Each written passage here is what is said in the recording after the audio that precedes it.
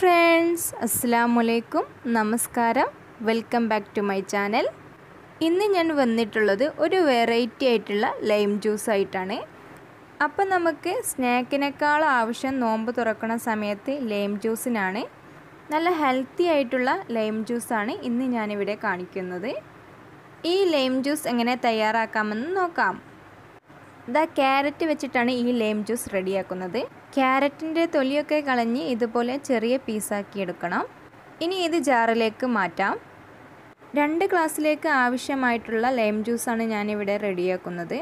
ഇനി ഇതിലേക്ക് വേണ്ട നാരങ്ങയുടെ നീരിന്റെയും പഞ്ചസാരയുടെയും ഒക്കെ അളവ് നിങ്ങളുടെ ടേസ്റ്റിനനുസരിച്ച് ചേർത്ത് കൊടുക്കാം. ഇനി ഇതിലേക്ക് കാൽ കപ്പ് വെള്ളവും കൂടിയും ചേർത്ത് നന്നായിട്ടൊന്ന് അടിച്ചെടുക്കാം.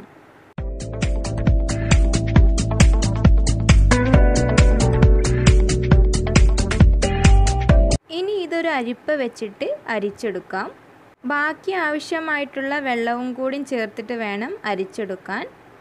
ഈ ക്യാരറ്റ് ലൈം ജ്യൂസ് കാണാൻ തന്നെ നല്ലൊരു ഭംഗിയാണ്. ഇതൊരു സർവിങ് ഗ്ലാസ്സിലേക്ക് മാറ്റാം. ഞാനിതിലേക്ക് ഡെക്കറേഷനായിട്ട് കുറച്ച് കസ്കസ് ചേർക്കുന്നുണ്ട്. നിങ്ങളുടെ കയ്യിലുണ്ടെങ്കിൽ മാത്രം ഇത് ചേർത്താൽ മതി. ഇനി ഇതിലേക്ക് നമ്മുടെ ക്യാരറ്റ് ലൈം ഒഴിച്ചു കൊടുക്കാം.